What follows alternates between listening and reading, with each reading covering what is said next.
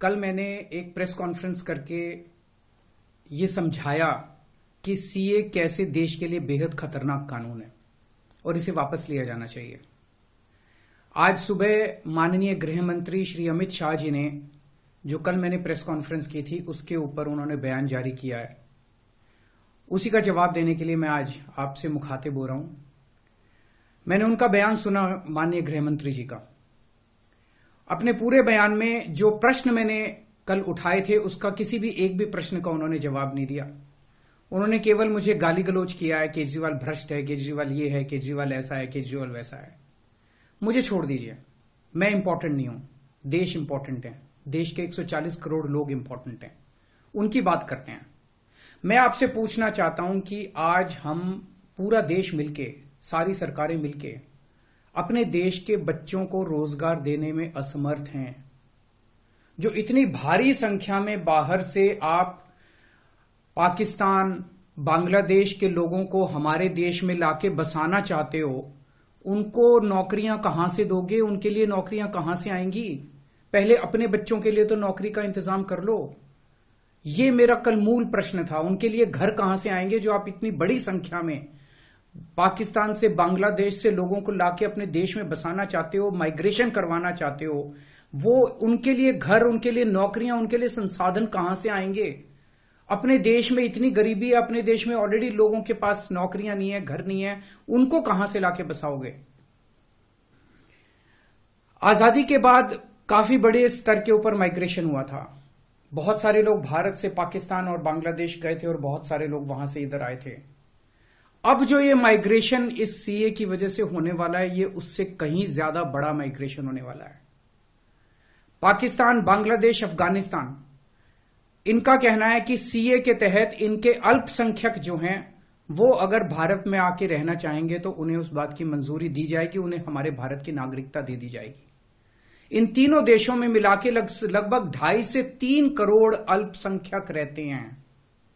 पाकिस्तान, बांग्लादेश और अफ़गानिस्तान में मिला के लगभग ढाई से तीन करोड़ अल्पसंख्यक रहते हैं। वहाँ बहुत गरीबी है, उनके पास रोज़गार नहीं है। भारत में आ तो आना और भारत की नागरिकता मिलना उनके लिए तो बहुत बड़े सपने की तरह है। और अगर हमने भारत के दरवाजे खोल दिए, इतनी बड़ी संख्या में लोग आने वाले हैं जिसकी हम कल्पना भी नहीं कर सकते। इन ढाई तीन करोड़ लोगों में से अगर एक डेढ़ करोड़ लोग भी आ गए तो कहाँ बसाया जाएगा उनको? क्या करेंगे उनका? ये मेरा.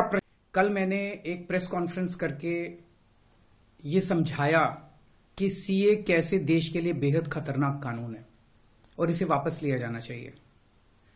आज सुबह माननीय गृह मंत्री श्री अमित शाह जी ने, जो कल मैंने प्रेस कॉन्फ्रेंस की थी, उसके ऊपर उन्होंने बयान जारी किया है।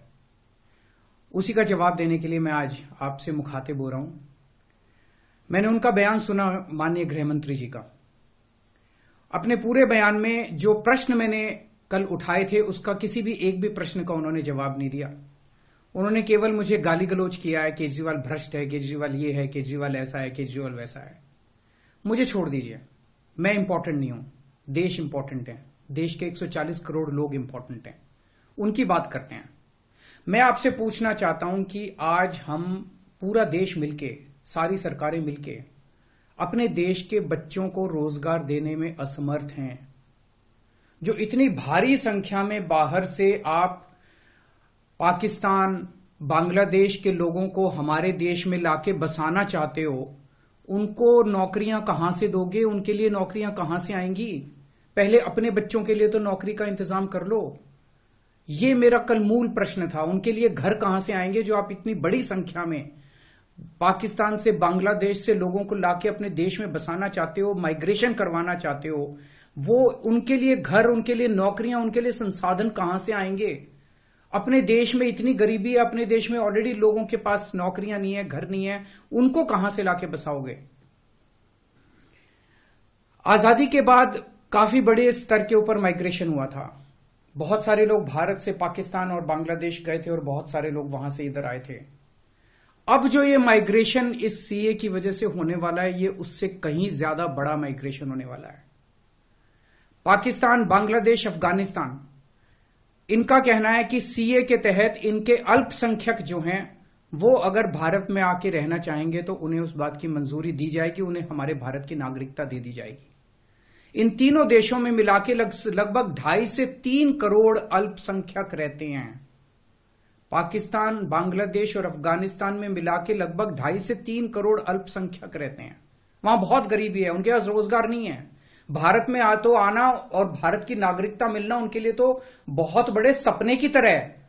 और अगर हमने भारत के दरवाजे खोल दिए, इतनी बड़ी संख्या में लोग आने वाले हैं जिसकी हम कल्पना भी नहीं कर सकते।